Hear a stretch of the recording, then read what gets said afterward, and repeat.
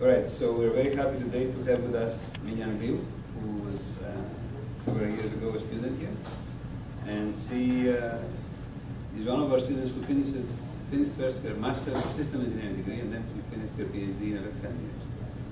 And Mingyan is now a professor in electrical engineering at the University of, of uh, Michigan. She is working in communication, security, and performance modeling. She has several awards, including the NSF Career Award. She has received the um, several awards from the University of, Mer- of, of Michigan, the Elizabeth Crosby Research Award, and the uh, Outstanding Achievement Award from the department. And she has been on the uh, editorial boards of several journals, including the IEEE ACM Transactions on Networking, the IEEE Transactions on Mobile Computing, and the ACM Transactions on Sentinel Groups, all top-rated journals. So today she will talk to us on navigating internet neighborhoods, reputation, its impact on security, and how to crowd sourcing. Thank you, Dr. Baras. Um, thanks for the introduction. It's always great to be back here, and every time I'm back here, there's something new on campus and new faces and old faces. Um, so what I'm going to be talking about today is very much uh, work in progress, but it's also something we're quite excited about. Um, most of the work I'm presenting here is done between myself and my student Parinaz, but we also have a team of collaborators uh, from a computer science side that's been helping us with uh, data collection and measurements. Um, let me start by um, listing something I think most of you are quite familiar with. Look at the, the variety of threats to internet security and availability, there's misconfiguration, mismanagement, uh, from unintentional to intentional, random acts uh, to those driven by um, I'm going to focus on, with this background, I'm going to focus on one type of countermeasures that's commonly adopted by uh, network operators, and that's based on filtering or blocking. Um, and the different types of these, uh, the things that we as end users most familiar is basically email filters. Every uh, email application is a filter. And the, and the biggest thing that they filter out is spam. Right? Um, the network operators also use similar technologies to protect their domain name systems. Um, they can block based on source destinations um, and or uh, within the control plane. Um, what do they base their the blocking filtering decision on? One type of uh, source of inputs they use is called uh, reputation block lists, whose reputation um, RBLs. These are essentially data collected by various organizations around the world. They set up these monitors and they, they filter through um, traffic that, that pass by. And what they're trying to catch is um, uh, IP addresses that are associated with a certain malicious activity. So you have monitors that are solely looking at spamming. So they're going to basically compose this list of IP addresses that have been identified as uh, sending spams. So here I list um, a set of typical uh, that, that people are running. You have multiple of these that are trying to catch spam, and you have those that are focusing on phishing malware, and there are also some that are focusing on active attack. So there are these lists of um, IP addresses. Some of these are better maintained, they get daily uh, refreshed. Some, for instance, BRBL that's run by Barracuda, uh, they don't actually refresh their list, it just keeps on adding, and eventually they age out. Okay? So this is the raw information. Um, how big of a deal is this? Right? If you believe that these lists are, are, are good representations of the ground truth, and then you use these lists to identify traffic or flows that are tainted. Say, these are traffic between IP addresses that are being blacklisted, then it's actually very significant. So we did this study, we're correlating the what we get obtained from the list and the NetFlow records. So this is really just uh, watching every single packet that flows through uh, at Merit Network, which is a local ISP uh, in Michigan. Then you can see as much as 17% of overall traffic that was observed, or 30% of overall flows, may be uh, labeled as tainted. So it can be, it's, it's, uh, it's a significant uh, uh. Um, how would you like these lists? So earlier I mentioned that operators, um, system administrators use these lists to make filtering decisions. Conceptually, you want the, these lists to serve two purposes. One is um, external in terms of strengthening your defense. If I know these IP addresses are, are associated with malicious activity, then I can better configure my policies. Okay, so I can make better blocking decisions. But also you want to you want these lists to serve as feedback signals. Okay? If I'm running a network and one of my uh, IP addresses are listed, then I need to take measures to get it delisted. Okay? So it has happened to me personally in the past, past 30, 13 years, maybe twice or three times. When I send out an email, I immediately get a, note bouncing back saying, uh, you can, this email cannot be delivered because your IP address is blacklisted. So what do I do? I call my computing office and say, well, you need to resolve this. What do they do? They may pick up the phone, they may go to certain website, and they act very uh, promptly to get that IP address delisted, right? Because what it does is it is hurting your reachability. You cannot communicate anymore. So that is the right response. You use this as a feedback mechanism so that you can improve your, your uh, security policy, right? uh, measures. There are also, um, but there are also uh, reactions that are perhaps less desirable. For instance, um, retaliation for being listed. This happens actually quite commonly.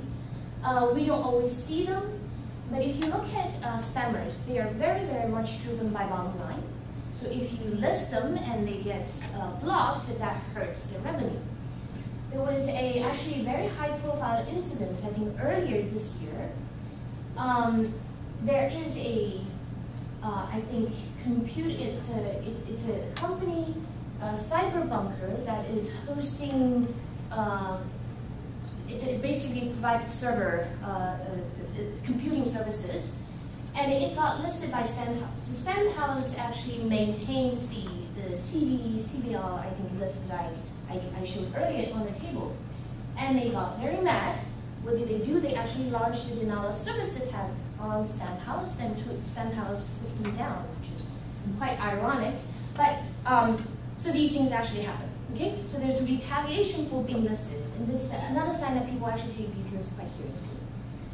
The other thing is um, that sometimes people, their reaction to, to the list is by fix is to try to fix the symptom and not the cause. A typical example is the country of Mexico. What it does, it does extremely aggressive outbound filtering. Why? Because it knows the amount of spam coming out of that country is, is enormous They cannot let the floodgate open, so they do this. But you know that that amount is basically just circulating. It's it's doing a, a relatively good job not letting it out, but it's not fixing the cause. So these are these are typical reactions you, you, you see. The limitations of basing your, your actions on these reputation lists um, is one a big weakness is the host identities are very transient.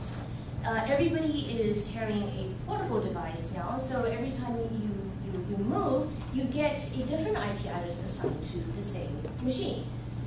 Um, so if your policy is trying to react to which IP addresses have been identified, then these policies inevitably, uh, react. Right? You are responding to something that happened in the past. And this can lead to significant false positives and misses, right? So it was listed because somebody else was using the IP address of, uh, to, to engage in malicious activity, uh, but the identity, the association has quickly changed. And it also leads to potential uh, scalability issues. These lists can be very large. Right? Um, the other thing is these are there is a non-uniformity across these lists, meaning that uh, some lists are trying to catch one, uh, one activity, some other lists are targeting different ac uh, activity, and also that um, there is a lack of transparency in how these, exactly how these lists are composed. um, and they're not exactly public available. They're subscription based, and sometimes even when you have access, you can only query. You don't actually get to see the list. Okay, and if you don't know, uh, if you don't suspect anything, you don't know. Um, our vision is instead of listing individual IP addresses, how about we look at the aggregate? Okay, so let's go move to a slightly higher level. Let me look at the behavior, if I can define, okay, or assess the behavior of a slightly larger entity. Let's call it a network. This could be an organization, can be an autonomous system, can be just a block of the addresses. Um, once you look at the behavior of, and let's define that as, let's loosely call that a reputation of, the, of a network, um, then I can hope to get uh, much more information on that. And the reason is because a network is typically governed by much more consistent policies. They're run by the same people. These people, yes, change over time, but that turnover is on a much larger time scale than the association between a, host and an IP address, right? Um, so, and if, if I can identify and correctly assess the quality of the network in terms of security and, and um, availability, then the policy I design with this in mind becomes more proactive because I'm reacting to things that are features that are more stable. And that's the whole idea. Instead of being reactive, I want to be more proactive. So if a network, for instance, is consistently badly run, okay, maybe one address is listed today, maybe the next day it's a different address listed today, but if it's consistently badly run, you can, you can expect a significant percentage of its addresses being listed. Okay? So my policy becomes more uh, become uh, more proactive. It's reacting to something much more predictive. Okay? And this can possibly uh, enable risk analytical approaches to security and also allow us to, to study trade-off between benefits and risks? And I will um, revisit this issue of um, the ability of using these reputation measures as a proxy for metrics and parameters that are otherwise not unobserved. So let me end this introduction by an illustration. So for instance, this is a very simple thing. I take those nine RBLs that I showed earlier, and I simply take the union of them. Okay, so if an address is listed on any list, it's considered listed. Then I spatially aggregate them. This aggregation is done at the AS level. And this is a level we actually consider two but suppose I do that. Then I order these ASs in a decreasing order in terms of what percent fraction of their IPs are listed. That's the vertical axis. And what you see is you have ASs that are consistently bad. Right? And then you have ASs that are good. So these two, you, you, you can sort of imagine the type of policies you, you want to design, and then you have a large swap in between that's basically it has IP addresses that are much more transient, but this aggregate is relatively stable over time. So that gives you uh, some information that you can work with. Uh, dumb question, what is AS? AS is an autonomous system. It's one way to, it's mostly used in the context of routing. It's one way that we come up with to organize the addresses. So we have so many addresses. So it's a, it's a unit you can think of. It's a, basically a, a, a block of IP addresses. Internet consists of the connection of sets that they call ASs. But it's, it's something, it's a very big unit. Uh, we, we actually, uh, ideally want to work actually below this level. AS is industry two. Uh, And this method contains a lot of people. The what? This method of aggregation, Mhm. if you, like in this AS, you basically contained everything there. Is that there? What do you mean everything? Contain the whole AS was bad. Oh, yeah, yeah, yeah. No, that's right. I So- the, the, the policy themselves have to be much more nuanced. What Yes. I'm asking is, is averaging the correct thing to do, or maybe it should be something else? Um, I think averaging is too simplistic. Right? So this is not what we're targeting, but I'm, I'm using this to illustrate. So for instance, um, one thing, right? What's if the you- horizontal axis? uh. The horizontal axis Yes. is A- ASs. These are just ordered in descending order of this fraction. The index for its AS. These are just one, different two, three, indices. Ah, okay. the index- Yeah, yeah, yeah. okay, I'm just yes, ordering okay, them yes, in, yes, yes. in, in decreasing order. And the colors, anyone? I'm sorry. Colors? The color is just roughly speaking, you know, you have ASs that 100% of their IP addresses are listed. So that's a very high fraction. Bad and good and good. Okay, okay, but s- so it does not add anything to the code, right? No, no, no, that's right. So, so yeah, the, the, the part in the middle, you have to be more careful. What I'm saying is, okay. if you have an AS that is consistently have almost all its IP addresses listed, you can have a policy that just says, no, I don't want to talk to you, right? I will never route my traffic through you. Uh-huh. You can do that fairly safely, right? Because it's consistently bad, and you have con- the consistently good. And this is not all the ASs. This is out of the total estimated total about 35 to 50, 40k. So you have also a large number that's that's really clean. Okay. Um, and what, what we're what we're saying is for this chunk in the middle, you have to be careful, right? They are.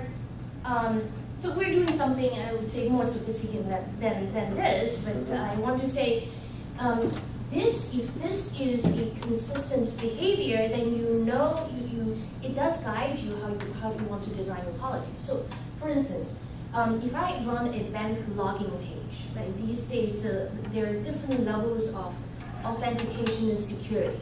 They start asking what's your son's name, what's your maiden name, and so it is always a trade-off between security and usability. You know, you get annoyed sometimes. And you forget your, your own answer to some of these secret questions, right? Um, but what you can do is, if the the request comes from an address in a very bad, well, in, in you know, toward the, the, the bad end of the spectrum, you can increase this level, the depth of this this this authentication. It's, a simple example, right? And if it's coming from a clean address, you can decrease that level. Again, this is a simple example, but um, the, the, the, the, the point here is that you, you, we're hoping that this is more predictive than just an address. So let's say you're coming from a, let's say, bad network, but you have an address that was not listed yesterday. Okay? But, but the, the, the, the thing is, um, just by going by addresses, there's, there are a lot of dynamics in the shuffling, right? I mean, which one was caught yesterday or the two days ago? But if this overall network is poorly run, then you expect a higher percentage of its IP addresses are problematic. Does that make But- sense? But I can do the following attack. I can go to, I can go from a good AS and launch my attack from another one. Because I Yes. want to characterize it badly. Yes. But the point Like is, if you do that, then that AS is going to be caught too, right? Because, But I'm looking good, but the other one that I want to hurt looks bad. yes, and but if you, if you try to, so, yes, they, So they, Can I go through VPN or something? I can launch, I can launch an attack, you will block you, right? Yes, that's right, yes, Now, you what- can. Which is, is the bad one? Is, is the bad one, mine or yours? Yours. So I can target that, but it has been done. so this, this goes back to how these lists are composed, eh, are, are, are, are composed, and what, what are they able to, to capture? Right, so there's that, and then the also issue is cloud computing. So a lot of these are actually hosted on Amazon. The big question I have is, and we discussed yesterday, is how do you trust these lists? How trustworthy they are, and how actually close to are? Yes, I understand that. We're not at a position to assert that, but this is something eventually we, we need to get into. Yes. I have a, just a notational question. When you use the term network reputation, within the context, are the nodes of that network to be viewed as autonomous system ASs, or is it really finer than that? It, it's finer. So when I say network, it's a collection of nodes. I haven't actually defined precisely what a network is. It's a collection of networks. I want to look at, at, Collection of at a collection of nodes, a collection of IP addresses. I can be a bit more precise than that. It's a collection of IP addresses. The question is, what collection? What do you define as this unit? In this illustration, that unit is an autonomous system, which is, which is a large unit. Is it possible then, for your new notion of network, or possible notion of network, you could go across the conventional notion of autonomous systems? In other words, you could have a network node or unit could be a piece of this autonomous system, a piece of another autonomous system. I mean, because of the way you are picking up So if I just look at uh, address blocks of uh, slash 24, 256 address blocks, I, I might actually cross that boundary. Ah. So there, there, there are different ways you can do this. I mean, one thing that we are doing, we are actually doing this by organizations. So the ownership, if you like. So, but yeah, there, it's a, it, it, there, there are different ways to do this. And uh, the pros and cons are, are yet to be seen. Um, and how about if if I have power, but, but my AS is uh, blacklisted, can I just move to, to, to AS this green listed, which is really? Can you just move to a different Yeah, and send my spam from somewhere, from somewhere else. maybe Yeah, so this, is, I think, is what, what John was mentioning. Um, and what, to that. I don't want to, I'm, I'm not uh, attacking. yeah, yeah, yeah. No, I just want to send my spam. If I can send it, So- so send you it from can. here, I will send it from there. Yeah, and my response is, if you do that, eventually this AS is going to show up as. Eventually, as- then I'll move to another one. You, you can, the, but the, the, the, the, uh, the, the, the vision here is that when you make this information, you hope these, these networks will be better run.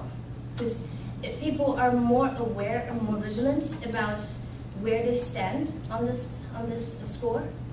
So these things can happen. I think you should go ahead Yeah. and can ask question again, because this is about who shares the information, how they collaborate and all. That's right, I'm, I'm not done with the introduction yet. So, so there, there are many challenges, and I think the question you ask is, it, it delves into some of the challenges, right? What is the appropriate level of the application? How to obtain these measures over time space and applications, and how to use these to design reputation over policies.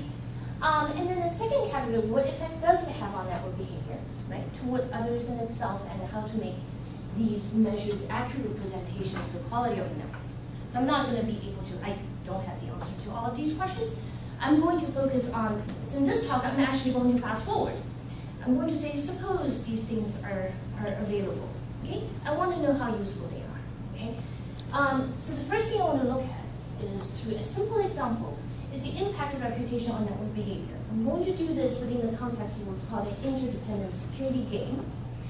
Um, and the second thing I'll look at is, can I incentivize networks, okay, appropriately defined, um, to come together in a collective effort to contribute input so that collectively uh, the system's assessment of each individual network becomes more accurate. Okay, so I'm going to focus on, focus on these two things. Um, the first, um, can reputation uh, contribute to better behavior?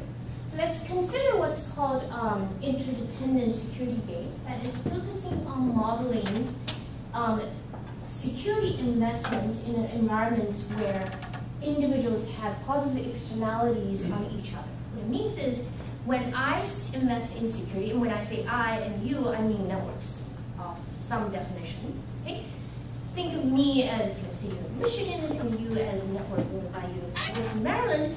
When I invest in my network, make my network better, that is in generally good for everybody. There's this spillover effect. Why? Because when I make my uh, machines cleaner, they're less likely uh, hijacked by, by attackers and less likely to be used to send out spam and so on and so forth. The reverse is also true. So this is what's called um, externality is positive externality. It's the opposite of, um, for instance, power control problems in wireless network where you have negative externality. When I increase my power, that is more interference to you, uh, and so on. Um, and the, the, the challenge here is the, the, each network's preferences are in generally different. They have different um, unit uh, cost, effective, effectiveness in security investments. When I spend a million dollar, um, it may not be as effective as your $100,000 if you know how to do it better, right, and so on. And this type of heterogeneity leads to, in general, underinvestment and free riding, which is a common issue in uh, environment when you have positive externality. So I'm just to sit here and wait for you to, to fix your system. So that's also something that, that you would observe in, in the context of vaccination. If all of you have flu shot, well, I walk in here and say, hey, I don't need one. Who am I going to get it from? And so on, right? It's, a, it's the same phenomenon. So let's be a bit more precise now. Let me take this model that was uh, proposed by this group at, at Berkeley. Consider a set of n networks. Um, each one is denoted ni. Its action consists of a, single scalar in the, the investments, uh, the amount of uh, money it invests in security, xi. It has increasing effectiveness, but this, this function is different from network to network. CI is the unit cost of investment. Let's now define a function called security risk or security cost, fi of x. It is dependent on network i, but it's a function of everybody's investments, and that's how the externality is modeled. So the cost that I um, that imposed on me, or the, the risk that I'm exposed to, depends on my own effectiveness, but it's uh, it, it is a function of everybody's investment in environment. Okay? And this Fi is assumed to be decreasing in each element and it's convex. And the notion of this being convex, of this, this shape, it, usually, it basically it conveys the notion that the initial amount of dollar you spend is much more effective. Okay? So going from no investment to investing in $100, you get the biggest value of luck. And then security can never truly decrease, the risk can never truly decrease to zeros. As you spend more and more money, the incremental utility you get back decreases. That's basically the, the, the physical interpretation of that. Now, a network chooses the investment amount, and what it does is it wants to minimize its total cost, which is the sum of the security cost plus investment cost. It's pretty simple. And what this paper did was it, it analyzed the suboptimality of this game. So this individual behavior induces a gain, and it looks at the Nash equilibrium and looks at the difference between the Nash, the, the, uh, the performance in Nash equilibrium versus the social optimum. So let's take a look at this. It shows very clearly in a specific model. Um, consider a, an environment with two players, and there is this what's called total effort model, where the security risk is simply a function of the sum total of investment. So this is actually one of the three models that people in this area typically uh, consider. One is called total effort, given here. The other is called weakest link. So then you say your security risk is dominated by the weakest link, the smallest investment. A third model is called best shot. It's the opposite of weakest link. You say your, your security risk is determined by the, the highest investment that induces different behavior. Um, and this is actually a symmetric case, so, so their unit cost investment is the same, so that I have these two cost functions. If x naught is the Nash equilibrium and x star is the optimum, then you just check the first order optimality condition. It's pretty simple to see. At Nash equilibrium, the total effort, uh, the derivative of that is basically minus one, and then a social optimal, it, you're basically minimizing the sum utility between these two players, and you get this because the convexity of this risk function, you have underinvestment. What this last inequality shows is at equilibrium, you're investing, your total investment is below the amount of uh, the double social optimal. And that's illustrated here. Why this horizontal axis is total investment between the two, and vertically is just a numerical scale. And then basically these two functions derivative, one is twice the other, so one is the blue curve, the other is the dashed line. Um, the optimal investment is y star, and the, the Nash equilibrium is ynr, that's to the left. So that's your gap of suboptimality. So that mean the price of one of these here? It can be. I think. How? They have, a, they have estimates of how? They have an expression. It's I, I don't remember the exact. Ah, yeah, because it looks at the worst, uh, worst How national. high can it be? I haven't done the, the, the numerical computation, but that's a good question. But it's not small, the improvement is lower boundary? Uh, You, there are no circumstances where the price of these is very small? ah, I don't know. I do not know. Yeah. But usually if you have multiple national equilibrium, you know, Right. So we do a simple experiment. Let's just say I take exactly the same problem, but now I say each network hash worries about its reputation. I make that thing available. Okay? it's an indication of how good you look and how, how well you're perceived by your peers. So now individuals choose to minimize the cost function that has this additional term, and because the cost function of taking away the reputation. Okay? So the higher the reputation, the more you decrease. Mathematically, this is a trivial modification because you can view this as either modifying your, your, your risk function or modifying your unit cost. And, and so the result. of course you can, because it's not dependent on Ah, the size. That's right. My example, however, is it makes them, Okay. yeah, but that's right, yeah.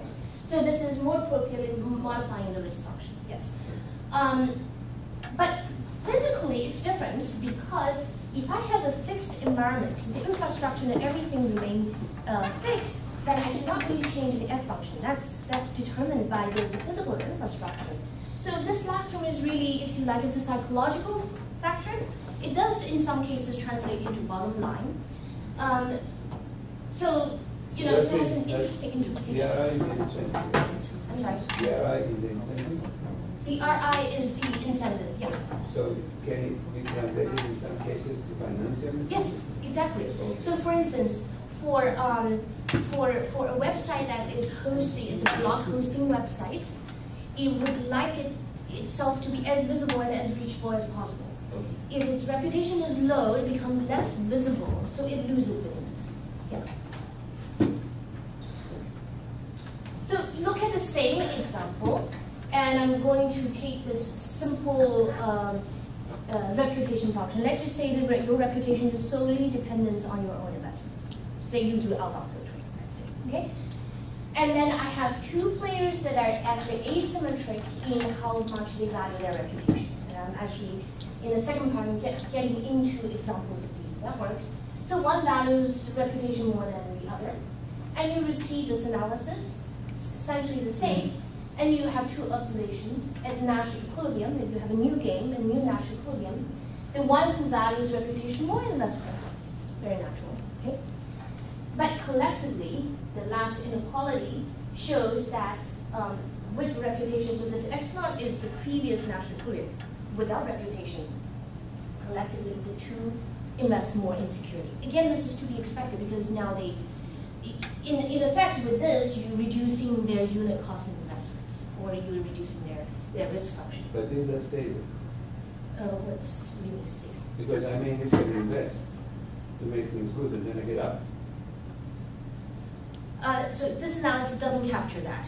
This is You all what I mean? static. I mean, if, if we define as collaboration that I invest Mhm. my fair share, Mhm. then we have another game that can go on Mhm. where I pay initially collaborated and I pay I don't collaborate. And Yeah. this is called the stability of the resulting Okay. Nash equilibrium over there. Okay, okay. So I don't have the answer to that, but that's a, that's an interesting question. Um, again, the same picture, this is actually the same picture, so, uh, you know, th- this is an example where you, you, you can push this Nash equilibrium closer to the social optimum, okay? Let me just digress for a second, say, in case you're wondering, can you completely close the gap? Uh, the short answer is yes, you can. Uh, this is not central to my talk today, but I have a slide at the end if I have uh, time to get into, um, using mechanism design. So basically you use an externality mechanism. You ask everybody to propose what they think they should invest and what everybody else should invest, and then you ask everybody to propose what you think they should pay, name a price, and what everybody else should pay. And then the, the regulator essentially does some type of averaging and there's money exchanging hands, meaning that if you, in general, if you invest, or you overinvest, you get subsidized, and you underinvest, so you basically pay for somebody else to invest. But the good thing is, essentially, you're letting those who are more cost effective to invest more, right? But they get subsidized, subsidized in return. And if you do that, you actually induce a new game, and the equilibrium of that new game is the socially optimal solution. And there's no money retained, retained in the system. An interesting observation, however, is that um, there's no volunteer participation, and that's something um, uh, beyond the scope of this talk. Um, but but the, the, the but there are more some more uh, critical observations here, which is if you look at this type of model and then you wonder, does somebody actually know what this risk function is, fi? In reality, no. There are key information missing in this, in this case.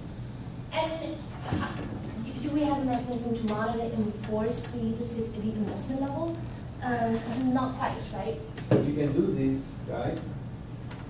Even if you have what's called measured utility. Measured utility. I don't need to know a functional problem of size. I can just look, am I doing better or I'm not? Yeah. And then I can change my strategy. There are algorithms like this.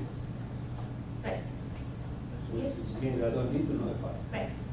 Um, and, and that's where this reputation comes in, is Right. we want to use that as an indication of how well you're doing, right? Right. So the idea is, and also the challenge is, to what degree can network reputation, this notion I tried earlier, serve as a proxy for a lot of these unobservable things in these problems, right? Which we, we at this point simply assume.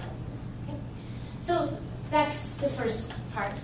Um, But going back to Kristen's question, then I can splice or divide my entire network in different subsets based on this feedback. In other words, I may say, you know, I'm going to look at all these black lists, and I'm going to kick out some nodes, and I'm going to take, doesn't matter AS, I'm just going to take some other organization organizational division to create my good and bad ASs. Mhm. I can do that. Yes. There's no obligation to stay with the No, that's right. organization That's right. or the internet. That's right. Especially if you allow money to be exchanged, because then I can pay to be in a good group, or I can be paid to be a good group, right? There- All these things yeah, are, There are a lot of interesting issues, Right. yes. So for instance, the, the first challenge is what is the appropriate level of aggregation? Um, yes, the definition can very well be dynamic. Yeah, yeah. And application dependence also, depending on what activity I'm, I'm, I'm, I'm interested in catching. All right, so now let me uh, get into the second part, which is incentivizing input. Suppose, you know, I have this system. Uh, so this is going after the question that they're not voluntary participation. Uh, yeah, I have uh, one slide at the end. No, this one, The, the, the second one? yeah. So the second one is looking at the following problem. It basically says, um, every network possesses some information about other networks because they have daily transactions. You know, you know, traffic could come in and, and out. So they have information about each other. Can we encourage them to come together and provide such information? So that the system as a whole can have more accurate assessment of their quality. Right? That's, that's what I'm interested in the, in the second part. So that, that has nothing to do with security investment. It's a different problem. So the basic like I said, so should be a multi-agent system. Each agent has perceptions and beliefs about other agents. The truth, I'm going to assume, about each agent is known only to itself. In reality, the truth sometimes is not even known to oneself. Okay? It takes resources to, to actually get to do, do that, but technologically, it's possible. Um, each agent wishes to obtain the truth about uh, others. Starts to sound familiar, then a lot of systems deal with on a daily basis. My goal is to construct a mechanism that can incentivize agents to participate in a collective effort to provide information, to, to arrive at correct perceptions. And as a standard challenges in, in such an effort, I want this participation to be voluntary. So I have to demonstrate it is in your interest to, to be part of this effort. Um, and individuals may not report truthfully, even if they decide to participate, uh, and individuals may collude. You These should, you should give this talk to the youth, to the European Youth.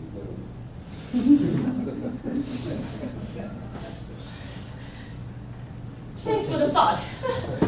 um, now, see some other app- applicable contexts, and you may have already thought of these, right? Online review recommendation system, they all share some, some commonality, but there are differences here. Uh, sellers and buyers rate each other.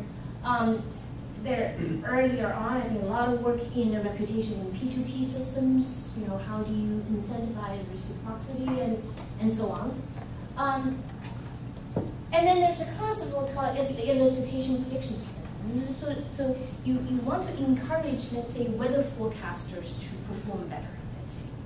Uh, but a key difference here is in some of these systems, the, the forecaster, the predictors, they don't actually have intrinsic value in the outcome of the assessment. So I don't become happier if, uh, if it's predicted, if next day it rains or, or shines, my value only lies in how accurate I was in predicting that. Okay, so in our system, everybody has vested interest in actually uh, what happens, right? What, what is the, the ground truth? So, is my model. I have k interconnected networks.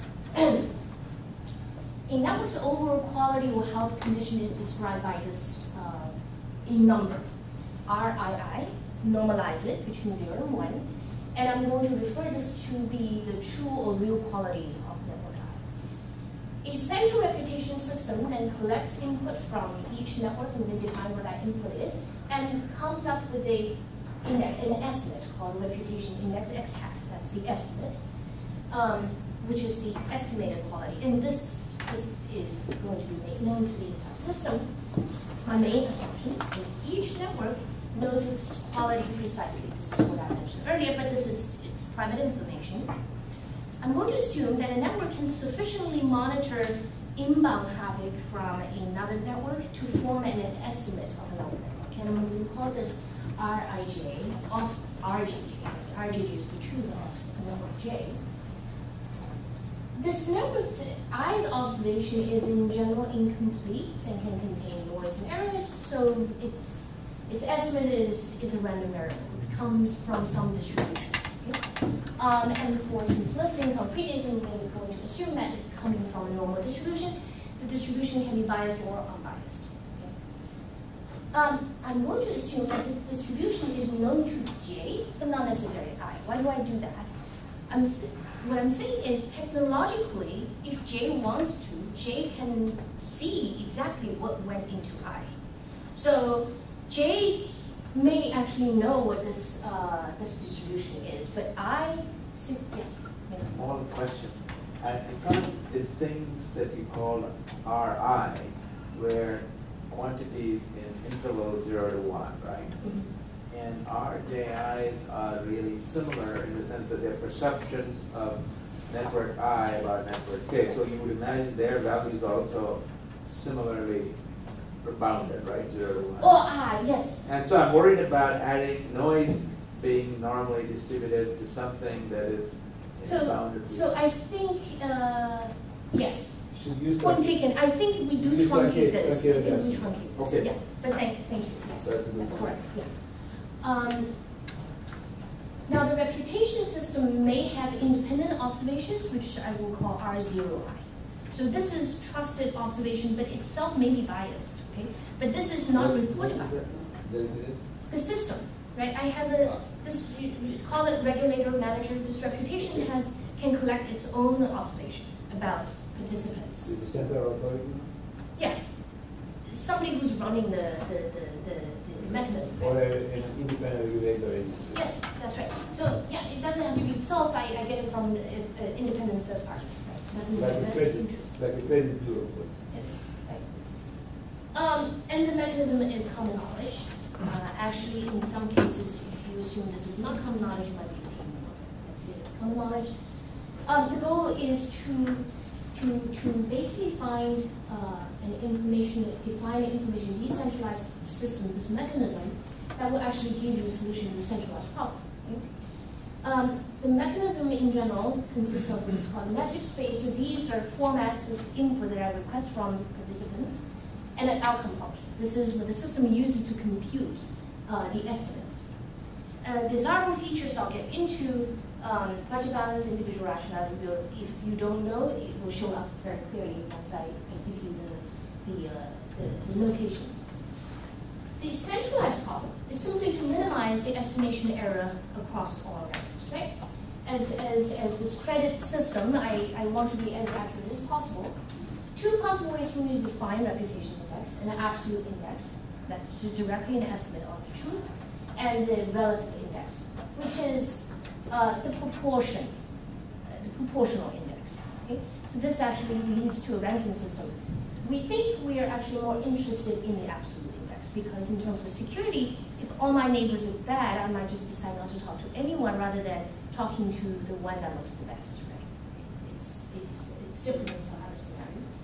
So the centralized system is trying to minimize the, the, the, uh, the absolute, the, the, the sum absolute error, okay? Um, in, in the absolute relative case. If the system had full information of all parameters, then that's your solution, okay?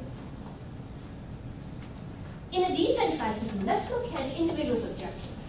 I divide that into two components. An individual generally has what we call a truth element. This is its interest in knowing the truth about others. Now, in the context of security, it maps into security concern. When I design a policy, I want to know what the, how good these other networks are to configure my policy. So in that sense, I want to know the correct, I want to have the correct assessment of uh, these entities I'm dealing with. Um, and that's expressed in one's desire to basically minimize the, uh, this, this, this error function, okay? And this is summed over all networks except for itself, okay? I don't care whether the system uh, estimates me correctly, because I know that. The second element is what we call image elements. Um, that is, in general, if you look at these expressions, that's basically there's an increase in concave. This is one's desire to look as good as, as possible to the outside world. Now, in a context security, that's translated into reachability. Okay? Because the better I look, the more visible and more reachable I am uh, to other networks. Um, some examples. Choose types.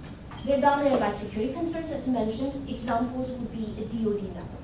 DoD network actually would rather nobody? They don't care about reachability at all, but they want to know how good other people are. Uh, or a buyer on Amazon, okay? an occasional buyer. Who wants to know the quality of the sellers, but it doesn't care. I go there once a year, I don't care what the sellers think of me. I mean, every time I show up, it's somebody different, right? The image type are dominated by reachability, traffic attraction concerns, and as we said earlier, sometimes it actually translates into money. Uh, examples would be a blog posting site, uh, interestingly, a phishing site, okay? Uh, a seller on Amazon. You're running a phishing site and nobody can see you while you're out of business, right? Um, and then this more general mixed type, and we'll call this legitimate non-malicious network. So preference is in general, increasing in the accuracy of others and its own uh, estimates. Okay, so some weighted. And with these, then you can define various combinations of homogeneous versus heterogeneous environments. Are they all different type and so on. I'm only going to look at a, few of them. Um, so, what is the mechanism I want to design? Um, the possible forms of input, when you focus on two types of input I call cross-report, you tell me what you think of other people, and self-report, you tell me what you think of yourself. Right? And the notation is X. So this is not the truth nor the, the estimate, not R. This is what's the reported version. The qualitative features, the, the in, in the sense that every, whether your preference is increasing choose or increasing the image, this feature is assumed to be public knowledge, but the actual function is how you precisely evaluate it is assumed to be private. Um, everybody is expecting it to see maximize weakness information, um, and I'm going to assume from this point on that external observations are unbiased. Okay? It's an extremely challenging issue, something we want to look into for if are. Um, and if taxation is needed, and tax is often used in these mechanisms as leverages, um, because you have a misalignment between the, the system objective and individual objective. And actually, in cases when you do have alignment, meaning that the system objective is actually the sum of individual utilities, taxation is also often required to induce uh, good behavior because of competition. So if that is involved, then the utility is actually the, the actual preference minus the, uh, the tax. Let's look at the first environment where I have only the truth types. So everybody here is interested in the truth, right? This is an easy thing to look at because I now have a, a good alignment between what the system wants to achieve and what the individuals want to achieve.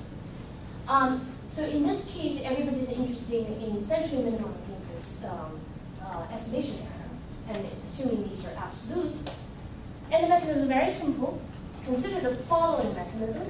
I'm going to ask each user to report to me a number, okay, between 0 and 1. And the outcome function, what I do is I'm going to treat these as the truth. So my estimate is what you tell me. But then I'm also going to charge you a tax term. So essentially the tax is used to ensure that what you tell me is the truth. Okay? Um, and it consists of two parts. One, the first is a penalty between what you tell me and what my independent observation is. The second part is a balancing term. That part is there if you look at that, that's the average tax that I charge others, the first term. That part is there so that I can make sure when I sum up all the taxes, it comes to zero. And that's what's called budget balance. Why is that important? Some people view it more strongly than others. Uh, and that is because, um, one, I don't want the system to, to make money, right? If the system's intent is to, to make money, then I better be modeling it as part of this, this thing, which I'm not. Two is you don't want the system to pay out money and run a deficit. So this is really just moving money from one pocket to another as a leverage, okay? This is what's called budget balance. Um, so this is what I said, right? I assign indices assuming truthful reports, but then I ensure they're truthful with uh, appropriate taxes. And you can show truth telling in this case is dominant strategy in the, in the induce game, and it gives me a centralized solution. Uh, budget balance, and there is volunteer participation, meaning that uh, I'm better off being part of this than, than not, and let me just show you quickly. The, the dominant strategy part is very easy to look, look at. If you put the tax and the preference together, that's the user's utility function. Because the way the mechanism is designed, my own report only affects the second term. Okay? Because the other terms are, depend, are, are just determined by other people's input. So I'm going to, the only reasonable thing to do is to act in order to minimize the second term. Uh, by assumption, I know what this independent distribution of the independent observation, so my best action is to just tell the truth. Right? It's pretty simple. What is the individual rationality? If I stay out, um, the reserve utility, the utility I get is basically based on my observation. Okay, so the error is between what I my estimate is and the truth. Right? Now, if you say the system is public, so even if someone is not part of the system but they can get to see this, that's a different thing. But suppose if you stay out, then you can only rely on your own observation to get that. If I participate, then the expected utility is f of zero equilibrium, right? So by the, uh, the convexity of this, then you're better off staying in than staying out. So this is what's called individually rational. Um, there's an extended version of this. What if you say the system doesn't have independent observation? Okay? Then what I can do is I can construct this random structure to pair up users. And I'm going to ask you to give me cross reports as well. And what I do is I, um, so for instance, in this particular case, I ask you to tell me what you think of yourself, XII, but I also ask you what you think of the guy behind you and the, the next guy, the guy two positions behind you, uh, lined up in some random order. So then essentially, these connections are used to cross-validate.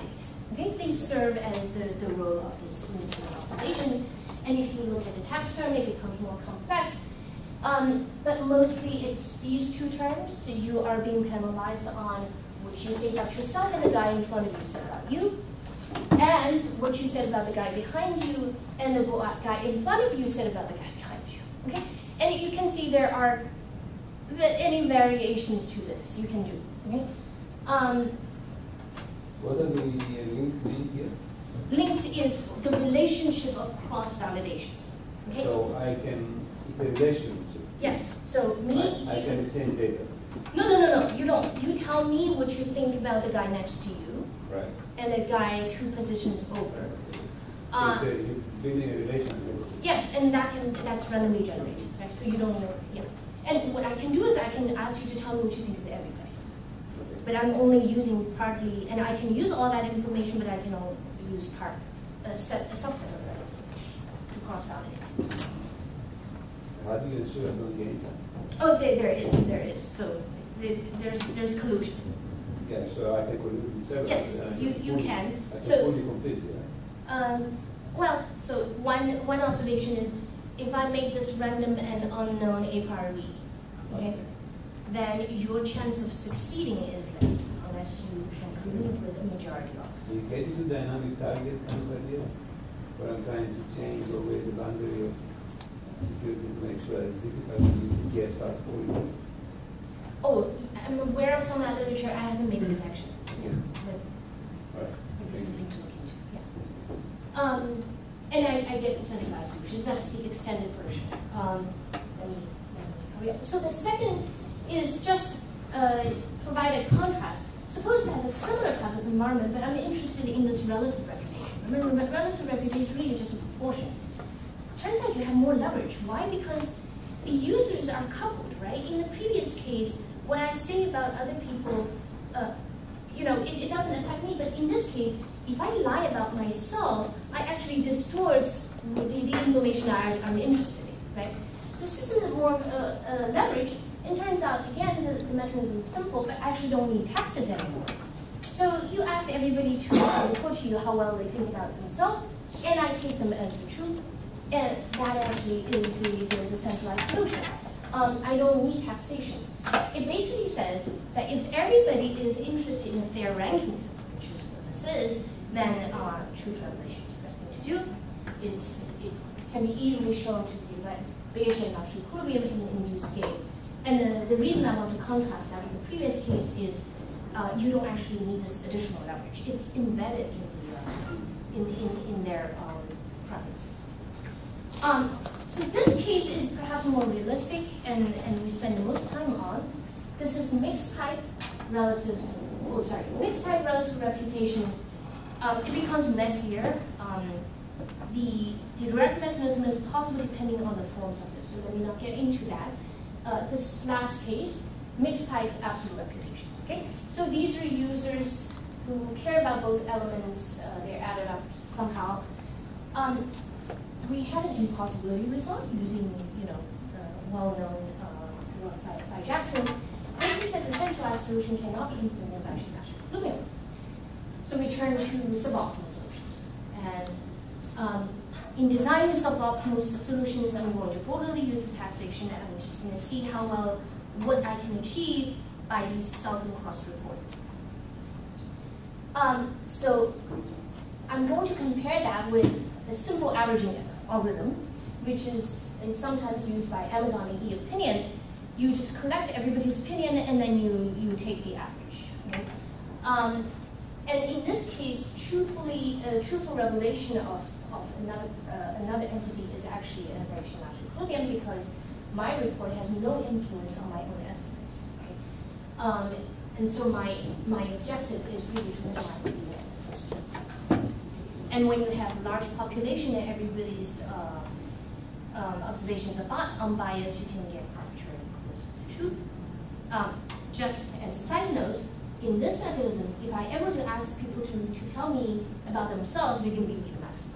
First, just as simple as that. Um, questions can we do better? Instead of ignoring, so the previous uh, mechanism ignores people's self-report, right? Because I'm assuming I, you, you really include maximum, so I'm not going to use it. Instead of ignoring them, can I encourage them to provide to me useful information? It's not going to be truthful, but can they remain useful? Um, so conceptually, what I need to do is I convince you that you can contribute to a higher estimate for yourself. Okay? So there's a bit of room for you to lie, but the room is limited, and so that I can use, I, I, I can uh, make use of it. Now I'm going to use cross report to, to, to assess your self-report and make sure that the amount that you lie is limited, that I can manage. Um, now, one thing, one observation is the cross reports are truthful in this case because if I, you know, in, a network can only increase its utility by altering other people's estimates, okay? Because its own, uh, own reported that doesn't have any bearing on its own estimate. And they don't know the truth, so they can't really um, use a specific utility function to, to strategically choose this cross report. So choose we're going to assume the truth, the cross reports are true. Okay?